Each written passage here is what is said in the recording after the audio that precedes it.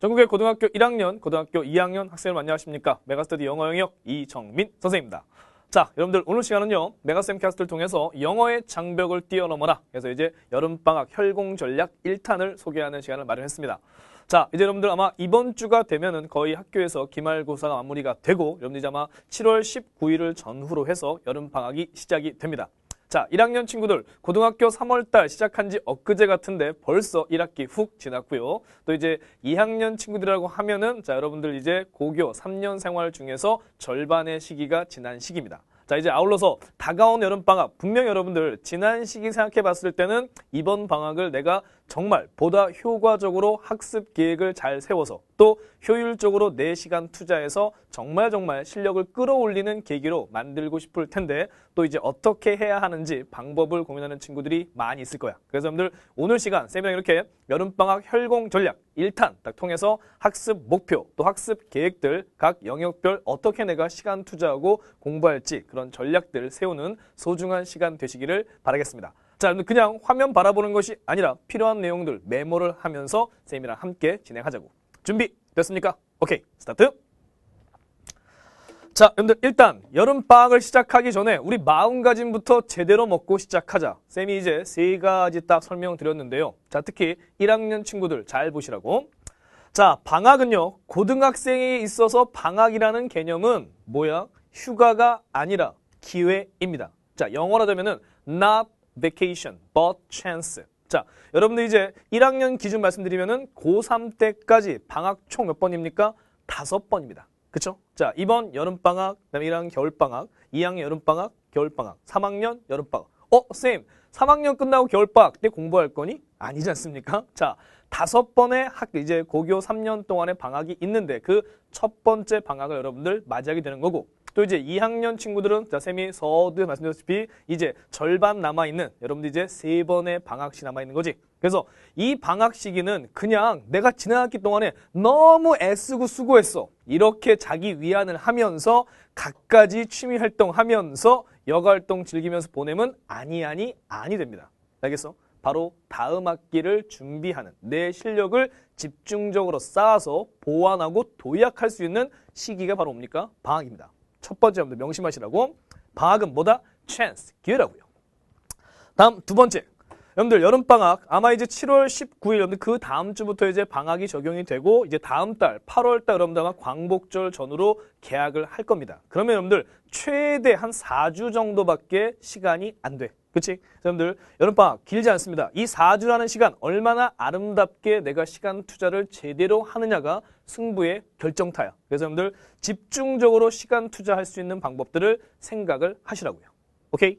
자, 다음 세 번째 여러분들 여름방학이 앞으로 이제 다가올 2학기를 결정합니다. 그래서 이 여름방학 동안 정말 누구보다도 굵은 진한 땀방울을 흘리면서 노력을 하면서 실력을 쌓아준 당신이라고 하면은 2학기보다 수월하게 여러분들이 지날 수 있는 거야.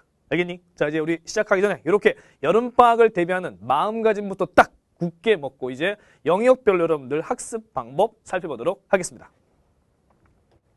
자, 여러분들 이제 영역별 학습 중에 첫 번째 이제 어휘입니다. 자, 여러분들 vocabulary, 어휘, 쌤이 항상 얘기하는 거 VIP 기억나십니까? 한번 써볼게.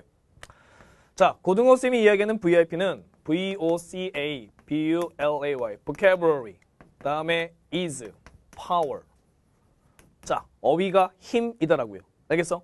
그래서 여러분들 영어 실력의 80%는 어휘에서 나온다 해도 절대 지나친 과장된 표현이 아닙니다. 그래서 어휘를 얼마나 많이 정확하게 그 쓰임을 알고 있느냐에 따라서 문장 해석 능력이 결정되고 당연히 해석을 통해서 여러분들이 독해하는 이해까지 갈 수 있기 때문에 가장 첫 단계 어휘이지. 근데 이만큼 중요한 어휘를 상대적으로 여러분들은 시간 투자를 덜 하고 있다는 부분이 안타까운 사실이야. 그래서 여러분들 뭐 학교에서 이미 내주시는 과제 아니면 본인이 풀어봤던 문제 정도에서 그래서 하루에 뭐 찔끔찔끔 찔끔 조금 조금씩 단어를 외우기는 할 텐데 그거 가지고 여러분들 정말 괄목할 만한 실력의 향상을 기대하기는 어렵다라는 거 명심하시고요. 이번 여름방학에 딱 집중적으로 시간은 투자할 수 있는 부분에서 자 어휘 공부는 이렇게 한다라고. 일단 제일 먼저 여러분들 자 시중에 가시면 여러분들 어휘 교재가 아주 잘 만들어져 있습니다. 자 어, 여러분들 어, 금전적인 투자도 하십시오. 한 만 원 내외 정도입니다. 나의 미래와 나의 실력을 위해서 그 정도의 금액 투자 전혀 아까운 거 아니지. 그래서 자, 어휘 교재 한 권을 뭐 본인들이 딱 선택을 하던가 또는요, 여러분들 쌤 홈페이지 공개 자료실에 보시면은 자 지난 여러분들 한 4년 동안 2010년부터 고1, 2 모든 모의고사의 어, 여러분들 어휘를 딱 정리해 놓은 자료 VIP 자료가 정리되어 있지. 여러분들 이 자료를 무료이니까 다운 받아서 이용하는 것도 한 가지 방법. 됐습니까? 여러분들 본인 취향에 맞게 둘 중에 하나 딱 선택을 하시고요. 자, 그 다음에 이제 구체적 방법은 자, 하루에 여러분들 이틀치 분량을 함께 공부하는 겁니다. 근데 그 어휘교재 보시면은 매일매일 분량이 정해져 있지. 근데 하루에 하나가 아니라 하루에 이틀 정도의 분량을 계획하는 거야. 오케이? 그래서 이제 월요일부터 금요일까지는 단어 쭉 이렇게 여러분들 그럼 이제 총 5일이니까 10일 분량의 단어 암기하겠지. 그리고 주말에 토요일과 일요일에는 뭐야? 한 주 동안에 외운 단어를 복습하는 겁니다. 알겠어? 그냥 막 진도만 달리는 것이 아니라 5일 동안 공부한 거 주말에 한 번 더 반복 학습. 이게 효과가 더 커지는 거야. 오케이? 자, 다음에 여기 중요한 부분. 이런 애들 있어. 쌤, 그러면 제가 공부 학습 계획표에서 단어 암기하는 시간을 따로 정하면 될까요? 라고 말하는데 자, 쌤이 추천하는 방법은 여러분들 자투리 시간을 이용하시라고요. 자, 학교 가는 시간, 중간중간 쉬는 시간, 점심시간, 저녁시간. 여러분들, 자, 욕심을 내면은 하루에 1시간 이상 정도의 자투리 시간 충분히 빼낼 수 있습니다. 알겠니? 그러면 그 시간에 뭘 하시라고요? 바로 단어장 또는 이제 출력한 자료 들고 다니면서 단어 외우시라고. 그래서 아, 쟤 정말 이번 여름방학에 미친 거 아니야? 제가 정말 단어 안 외웠던 애인데 저렇게 시간 투자 많이 하네 라는 주변 친구들의 반응을 들을 정도로 미친 듯한 시간 투자를 하시고 욕심을 갖고 하셔야 어휘가 늡니다. 알겠지? 그래서 자 자투리 시간 최대한 투자해서 암기를 하시고요. 그 다음에 오늘 밤 잠들기 전에 매일매일 밤마다 취침 전염들 간단한 확인 테스트를 하는 겁니다. 알겠니? 요 템포로 어휘를 집중적으로 공부하시는 거. 됐습니까? 여러분들 자 지금 요 영상이 공개되는 게 한 7월 9일 정도인데 8월 말까지 한번 잡으시면은 어떻게 충분히 본인 선택한 교재 두 번은 반복할 수 있겠지. 자, 요 템포로 가장 밑거름 되는 어휘에 대한 학습 시간들 투자하는 거. 됐습니까? 예. 다음에 두 번째 이제 자, 엎어 갈게. 자, 늘 어법 같은 경우는요, 어, 이제 실제 이제 그 올해, 올해부터 적용되고 있는 2014 선택형 여러분들, 자, 문항이 이제 밑줄 어법으로 한 문제가 출제가 됩니다. 근데 이 한 문제가 3점짜리 배점이고, 우리 이제 지난 6월달 모의에서 보시면은, 자, 1학년, 2학년, 둘 다 여러분들 27번의 문항으로 어법이 등장을 했지. 자, 마찬가지로 3점 문항이었고요. 그래서 여러분들 여법은요 3점 킬러 문제로 모든 학생들이 많이 틀리기 때문에 등급을 결정짓는 그런 킬러 문제가 된다는 것은 당연한 중요성이니까 열심히 해야 되는 부분이고 근데 그걸로 끝나는 것이 아니지. 자 여러분들 내신에서 출제 비중이 30% 이상입니다. 자, 지난 1학기 중간 기말 시험 보시면 여러분들 30몇 문제 중에서 어법 문제로만 순수하게 7, 8문항 이상 출제되는 거 느꼈지 않습니까? 그래서 자 그만큼 또 출제 비중이 높으니까 내가 시간 투자 제대로 많이 해야 되겠지. 또 아울러서 여러분들 이 어법 문제를 보시면은 단순한 암기 문제보다는 자 그 개념을 이용해서 실제 사용된 문장 속에서 적절하게 사용된 표현을 고르는 것이 앞으로의 출제 경향이기 때문에 여러분들이 어법 부분을 정확하게 잘 알고 있으면 문장 구조 파악 능력까지 함께 키워할 수 있기 때문에 쌤이 강조하는 겁니다. 알겠니?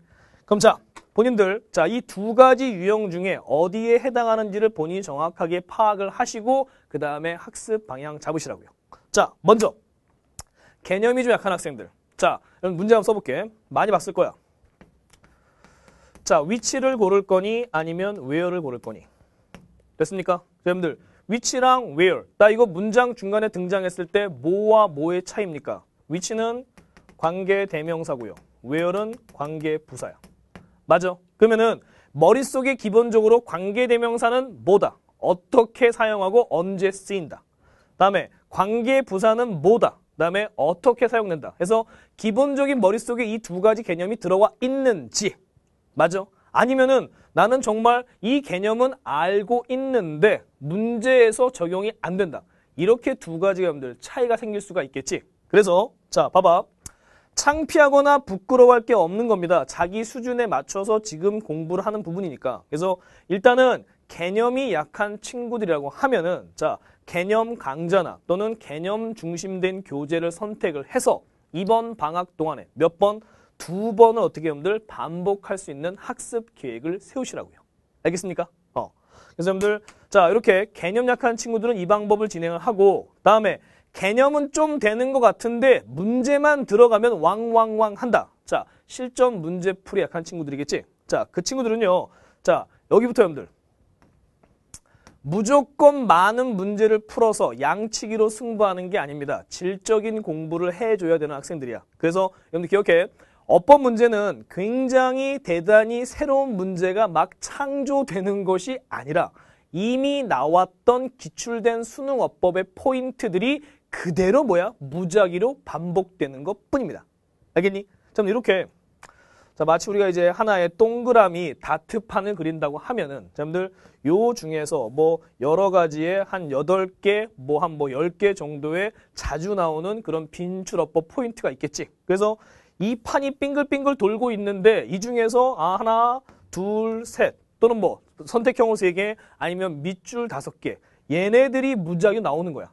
그러면은 이번 방학에 아 내가 기출 문제를 통해서 이 전체의 판에 대한 공부를 명확하게 해주고 있다라고 하면은 어떤 애가 튀어나와도 당연히 어렵지 않게 맞출 수가 있겠지. 그래서 자 그 출발점 뭐라고 여러분들 실전 문제 약한 친구들은 아 기출 문제 지난 고 1, 2 최근 3개년 동안의 문제를 모조리 다 푸는데요. 중요한 거 어디다 여러분들 별표 자, 밑줄로 나오던 선택형으로 등장하던 간에 여러분들 어법 문제를 공부하실 때는 자, 출제 포인트를 직접 쓰는 훈련을 하시라고요. 자, 예를 들어서 이렇게 여러분들 문제가 which니 where니 나왔을 때 아, 얘는 관계 대명사와 관계 부사를 묻는 요 차이점을 묻는 문제입니다. 라고 여러분들이 출제 포인트 쓰면 되겠지. 자, 또 예를 들어서 이렇게 이렇게 자, 문제 봤더니 뭐 한 3번에 이렇게 아가 밑줄돼 있어. 그러면 여러분들 여기 비동사 아에 밑줄 돼 있으면 출제 포인트 뭐인지 떠오르는 거 있습니까? 자, 바로 뭐 묻는 문제야, 여러분들?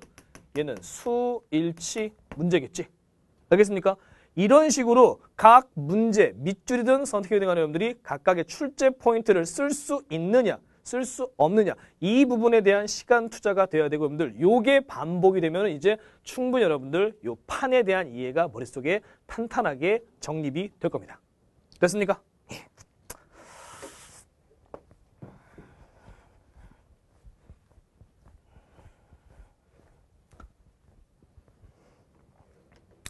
자, 이제 세 번째로요. 자, 문장 해석과 독해라는 부분. 자, 많은 학생들이 어, 쌤, 저는 독해가 잘 되지 않습니다. 라고 말을 하는데요. 그거 굉장히 뭉뚱그려진 표현이야. 정확한 표현이 아니라고요. 자, 쌤이 할 말이 독해가 안 되는 게 아니라 뭐라고요? 해석이 안 되는 겁니다. 다시 한번 뭐라고? 독해가 안 되는 게 아니라 해석이 안 된다라고요. 자, 여러분들 이 독해라는 거는 읽고 이해하는 겁니다. 읽고 이해하는 거. 그 다음에 이제 해석이라는 거는 말 그대로 여러분들 이제 문장을 하나하나 이제 좀 해석해 나가는 부분이겠지. 그럼 봐, 여러분들. 어, 우리 모의고사 보면은 모의고사 여러분들 독해 문제 풀었을 때 뒤에 있는 한번 해설지, 우리말 한글 해설지 있죠. 자, 그 한글 해설지를 보시면 여러분들 이해가 안 됩니까? 안 돼? 이해가 되지? 만약에 영어 지문이 아니고 한국어로 여러분들 그렇게 지문이 나와 있고 어려워하는 빈칸은 똑같이 틀려도 한번 생각해봐. 그게 한글로 나와 있을 때 네가 정답 못 고르겠어? 당연히 정답 고를 수가 있지. 그러면 너는 뭐야? 읽고 읽고 이해하는 독해는 못하는 게 아니라 독해는 되는 거야. 근데 그걸 영어 써놨잖아. 영어로 써놨으면 네가 뭐야 돼? 읽으면서 이제 해석을 해야 되지. 뭐가 안 되는 거야? 해석이 안 되는 거라고요. 알겠어? 여러분들 자 우리가 독해를 잘 할 수 있는 과정을 단계로 말씀을 드리면은 기본적인 어휘, 어휘, 단어 알아야 되겠지. 그 다음에 어법은 문장에서 사용되는 문장 구조 약식이, 뭐야, 약속이니까 요 두 가지가 쌓여져 있으면은 여러분들이 문장 단위로 이제 뭐야, 공부를 하겠지. 그래서 문장 해석이 잘 되어야지만 해석이 잘 돼야지만 뭐가 되는 거예요, 여러분들? 읽고서 이해가 되는 거지. 알겠어? 근데 많은 애들이 뭐야? 그냥 무턱대고 문제만 푼단 말이야, 독해 문제만을. 그럼 이렇게 문제만 풀었을 때 여러분들 뭐 심경, 분위기 아니면 뭐 글의 목적 이런 것들은 정말 꼼꼼하고 밀도 있게 정확하게 해석을 하지 않고 대충 뭉쳐 읽어도 답 나오잖아. 근데 중요한 건 뭐야? 그런 문제는 네가 맞추는 거는 딸도 다 맞춘단 말이야. 실질적으로 어려워하고 정확하고 꼼꼼한 독해가 필요한 부분들, 특히 빈칸 유형 같은 부분들, 뭐가 안 된다고? 여기를 잘 해야 되는 부분이지. 그래서 자 명확하게 2단계가 아니라 여기에 여러분들 어떻게 많은 시간 투자를 하셔야 되는 부분이 실질적인 실력 향상의 지름길이라고요. 알겠습니까? 근데 요게 되면은 얘는 뭐야? 자연스럽게 따라오는 거라고. 세미니캠들 글씨를 크게 써놓은 거. 알겠습니까? 자, 그래서 여러분들 그럼 문장 해석 연습을 어떻게 하냐면은 본인들이 풀어봤던 독해 문제 또는 모의고사 문제가 있겠지. 그래서 지문 보시면 지문이 한 단락이잖아. 한 단락이 처음부터 끝까지 해석이 안 된다? 그런 경우는 굉장히 드뭅니다. 그치? 근데 이제 문장의 길이가 좀 길어져. 그 다음에 구조가 안 보여.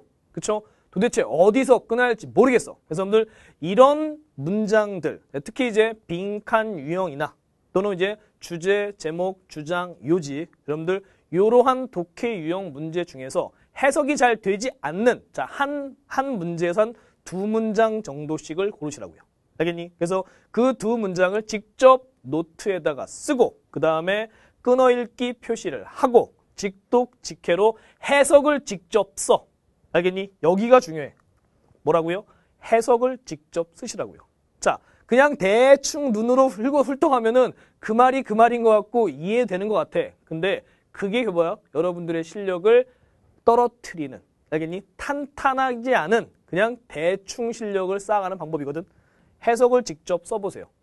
주어는 은는이 가, 동사는 뭐뭐하다, 목적어는 을, 를, 그 다음에 꾸며주는 수식어구들은 묶어서 여러분들이 문장 구조 파악을 직접 해석을 써오면 엄청난 차이가 보일 거고요. 아, 내가 정말 그동안 영어를 대충 읽었구나 라는 거 여러분들 수 거니까 해석을 쓰면서 말을 좀 맞추면서 문장들 꼼꼼하게 보는 것들 여러분들 자연스럽게 체득이 되니까 쌤이 여러분들 훈련시키는 겁니다. 알겠어? 이렇게 자, 여러분들 여기 3번 있잖아. 자, 문장 해석과 독해 같은 부분에 대해서는 쌤이 이제 오늘은 우리가 이제 여름방학 혈공 전략 1탄이고요. 자, 쌤이 3일 뒤에, 3일 뒤에 2탄을 촬영을 할 거야. 그래서 2탄에서 여러분들 여기 문장 해석과 독해를 기출 문제를 활용해서 제대로 시간 투자해서 공부하는 방법에 대해서 좀 더 상세하게 안내를 드릴 거고요. 아울러서 여러분들 여기 2탄에 가면은 정말 깜짝 놀랄 만한 이벤트 내용도 쌤이 숨겨놓고 있으니까 그때 여러분들 한 번 더 기대하도록 하시고 알겠습니까? 자, 다음에 이제 그럼 네 번째 자, 듣기입니다. 자, 올해부터 이제 바뀌는 선택 순에서 여러분들 듣기 문항이 총 45문항 중에서 듣기가 22문항으로 비중이 거의 50%에 육박할 정도로 높아졌습니다. 그래서 여러분들 그만큼 듣기가 중요해졌다라고 하는데 듣기가 안 되는 친구들, 안 되는 친구들 있지 않습니까? 어. 자, 결론은 뭐라고요? 일단 들으세요. 알겠어? 일단 들어. 나 듣기가 잘 안 됩니다. 라고 하는 친구들 거꾸로 물어보면 너 듣기에 대한 시간 투자하니? 안 하고 있습니다. 태반이 안 하고 있어. 그래서 일단은 뭐 하라고? 들으라고요. 그래서 여러분들 그 시중에 가시면은 자 본인 수준에 맞는 듣기 교재 뭐 기본적으로 뭐 기본편이 있고 또는 뭐 실력편이 있고 또는 이제 실전편 있지 않습니까? 그래서 각자 내 수준을 본인이 알고 있잖아. 자, 여러분들 22문항 중에서 22문항 중에서 어, 한 절반 정도. 알겠니? 절반 왔다 갔다 하는 수준이다. 그러면은 기본편 정도. 알겠어? 다음에 여러분들 실력편은요. 내가 한 틀리는 개수가 다섯 개 이내다. 알겠니? 다섯 개 이내로 틀리는 친구들은 여기 실력편. 됐냐? 다음에 여러분들 실전편 같은 경우는 사실 이게 보통 이제 그 듣기 교재 라인업 보면은 실전편이 고3 수준 말하는 거거든. 그래서 다 맞거나 아니면 하나 정도 틀린 학생들 있죠. 여러분들 그 친구들은 이제 1학년이나 2학년보다 본인 한 단계 수준을 up 하셔가지고 한 실전편 정도로 됐니? 자 기준 말씀드렸어. 다섯 개 이상 틀린다. 기본편. 그 다음에 다섯 개 이내 실력편. 다 맞거나 하나 정도다. 그 다음에 여러분들 실전편. 요 정도의 본인들 교재를 선택하시라고요. 자, 그래서 학습 계획은 어떻게? 일주일에 주 2회. 그래서 자, 딱 요일을 특정 요일을 정해서 여러분들이 그 요일에는 듣기를 하는 겁니다. 그래서 듣기 쭉 다 듣고 났어. 그러면 듣고서 채점하고 끝나면 절대 안 돼. 자, 실제로 너의 실력을 키워줄 부분 어디라고 여러분들? 여기입니다. 자, 여러분들 듣기 교재 보시면은 전부 다 어떻게 어휘 정리 아름답게 잘 되어 있죠. 자, 내가 아는 단어도 잘 안 들릴 수 있는데 모르는 단어는 당연히 안 들릴 수 있겠지. 그래서 자, 다 듣고 나면은 여러분들 스크립트에서 어휘들 체크하시고요. 또 이제 여러분들 듣기 실생활에 그런 생활 영어 표현들 자주 등장하죠. 자, 그런 표현들 또 아울러서 정말 내가 제대로 정확하게 의미 덩어리별로 들을 수 있는가를 확인해 볼 수 있는 딕테이션, 받아쓰기, 여러분들 다 빈칸 다 뚫려 있지. 그래서 자, 내가 듣기 하기로 정한 날만큼은 듣고 나서 채점하고 채점 결과에 신경 쓰지 말고 맞은 문제든 틀린 문제든 간에 꼼꼼하게 여러분들 자 어휘와 표현 암기 해주고 그 다음에 딕테이션까지 시간 투자를 하는 것이 여러분들 여기가 바로 뭐야? 실질적인 공부인 겁니다. 알겠어? 그래서 이제 보통 여러분들 교재가 한 20회 또는 한 30회 정도로 이제 한 권이 구성이 돼 있는데 이번 방학 때 반드시 내가 한 권은 끝낸다라는 생각으로. 알겠니? 그래서 처음에 시작할 때는 다소 많이 틀린 부분이 있을 것 같은데 거기에서 좌절하지 않고 꾸준하게 시간 투자를 하는 거. 알겠습니까? 그러면은 한 권을 다 끝낼 즈음 됐을 때는 분명히 내가 느끼기에도 와 예전보다 훨씬 더 맞는 개수 늘어나는 거 틀린 개수 훨씬 줄어들어서 실력이 향상했다는 거예요. 여러분들 시간 투자만 해보시면 분명히 실력 쌓을 수 있는 거야. 알겠습니까? 여러분들 두려워하지 마시고 시간 투자하시라고요.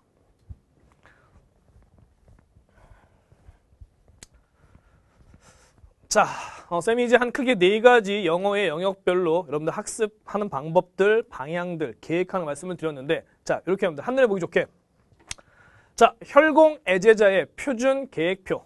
자, 여러분들, 어, 방학 기간 동안에 요렇게 여러분들, 자, 쌤이 틀을 정해 준 거니까 이제 각자 개인에 맞게 조절하시면 되겠지. 그래서 일단 필수, 뭐라고? 자투리 시간을 이용해서 여러분들 어휘는 어떻게 무조건 이거는 매일 하는 거야. 알겠어? 양보할 수 없는 거야. 절대 양보가 안 되는 거고 매일매일 어떻게 한다? 자, 본인 계획한 거에 딱 그 교재의 2일치 분량씩이지. 그래서 이렇게 월화수목금 하면 총 며칠 여러분들 여기 10일까지 되겠지. 그러면은 자, 토요일 날 갔을 때는 어떻게? 아, 1부터 5 day 복습을 하시고요. 일요일 날은 6부터 10, 요 날짜 거 복수하면 되겠지. 그러면 한 주 동안의 10일치 분량을 두 번 정도 본 거야. 됐습니까? 자, 다음에 어, 필수로 어휘에 대한 시간 투자는 하는 거고요. 자, 하루에 여러분들 이렇게 몇 시간? 3시간이야. 적은 거 같아? 많은 거 같아? 어, 개인마다 약간씩의 차이 느끼겠지만 쌤이 제시하는 거 자, 적어도 3시간은 투자하시라고요. 자, 여러분들 어, 방학 때 학교 보충 수업 꼭 들으십시오. 오전 시간에 괜히 생활 패턴 늘어지기 쉬우니까 그렇게 시간 보내지 마시고 아침에 학교를 가서 보충 수업 들으면 한 1시나 2시 정도 학교 끝나겠지. 그러면 그 시간에 끝나고 잠드는 시간까지 중에서 몇 시간? 3시간 정도를 계획하는 거야. 알겠어? 자, 그래서 여러분들 이렇게 어, 월요일과 목요일에는 어법 여러분들 본인 강의 신청한 부분이나 아니면 교재에 대해서 공부 시간 됐니? 자, 다음에 이제 화요일하고 금요일은 뭡니까, 여러분들? 문장 해석 연습들. 됐니? 직접 해석자 안 되는 문장들 쓰고 어휘 찾고 끊어 읽기 하고 직독 지켜 연습하고. 알겠습니까? 자, 다음에 이제 여러분들 수요일하고요. 수요일하고 토요일 날에 어떻게 모의고사 기출 문제를 푸는 거야. 알겠니? 자, 여러분들 쌤이 중간 말씀드렸지? 모의고사를 활용한 독해와 문장 해석 방법은 쌤이 이제 3일 뒤에 금요일 날에 여러분들 혈공 전략 2탄에서 공개한다고 했어. 그래서 이렇게 수요일하고 여러분들 토요일 날에는 기출 문제 모의고사를 풀어보도록 하시고요. 자, 모의고사 풀고 나서 여러분들 그러면 모의고사 보는데 대략 50분이잖아. 그렇죠? 실제 딱 응시하고 나면은 자 남은 시간 또 여기서 뭐 여러분들 이렇게 내가 선택한 듣기. 그래서 수요일하고 토요일에는 모의고사 보고 듣기 하고. 여러분들 자 모의고사 딱 어떻게 독해 부분만을 풀으시면 되겠지. 그 다음에 듣기는 내가 선택한 교재로 하시면 되는 거니까. 오케이. 다음에 그럼 여기 수요일 날 뭐 하냐면은 요 두 개를 한 다음에 모의고사 보고 난 다음엔 반드시 뭐야? 자, 거기서 나오는 어휘. 다음에 문장 해석. 내가 공부할 부분들 딱딱딱 체크하면 되겠지. 자, 그리고 여러분들 여기 주말에 와서는요. 일요일 와서는 자, 한 주 동안에 본인들 공부했던 내용들 자, 복습을 할 수 있는 여러분들 여기 어법과 문장 해석 복습. 요렇게 이제 계획표를 쌤이 지금 표준을 보여 드렸으니까 자, 여러분들 요걸 딱 보시고 각자 나한테 맞게끔 적절하게 여러분들 가감하시면은 아름다운 여름방학 계획표가 나오겠지. 됐니?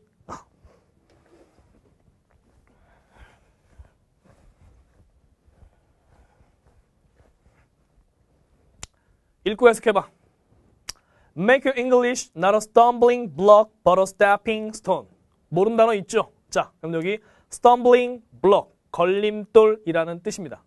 다음에 stepping stone, 밟고 올라가는 돌이죠. 디딤돌. 그래서 make your English, 여러분들의 영어를 걸림돌이 아니라 not A, but B.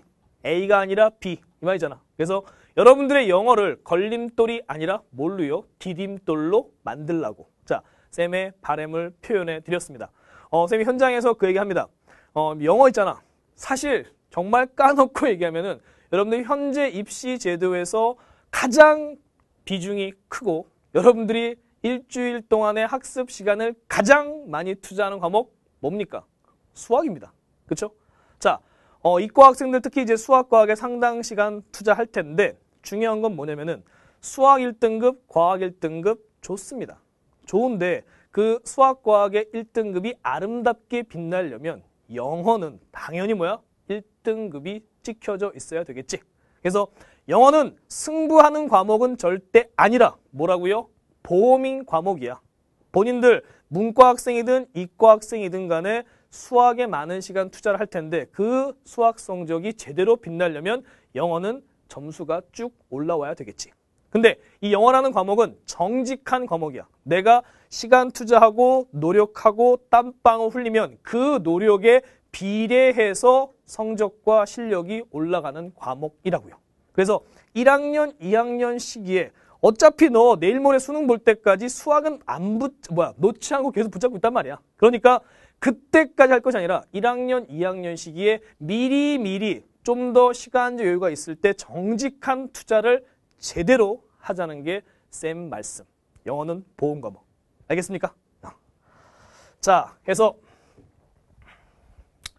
여러분들 혼자 하라고 그냥 던져두지 않습니다. 쌤 강좌와 또 여러분들 이제 TC를 통해서 학습 방법 쭉 소개할 것이고요. 자, 여러분들 어, 하면서 분명히 좀 공- 궁금한 부분들 또 답답한 부분도 있을 수 있겠지. 그래서 쌤 게시판에 오셔서 여러분들 얼마든지 학습법 상담 요청하시면 쌤이 직접 친절히 여러분들 상담해 드리도록 할 테니까 게시판 많이 활용들 하시고요. 자, 여러분들 정말 열심히 흘린 땀방울은 자, 진정한 땀방울 노력은 결코 배신하지 않습니다. 여름 당연히 더워. 근데 이 더운 여름에 보다 굵은 땀방울, 보다 진한 땀방울에 그런 노력을 흘려서 여러분들이 나를 위한 시간 투자를 한다고 하면은 정말 아름답게 성공하는 방학 잘 보낼 것이고 또 아름다운 멋진 2학기도 보장이 될 수 있겠지. 자, 이번 여름방학 고등어쌤이랑 열심히 결국 하십시오.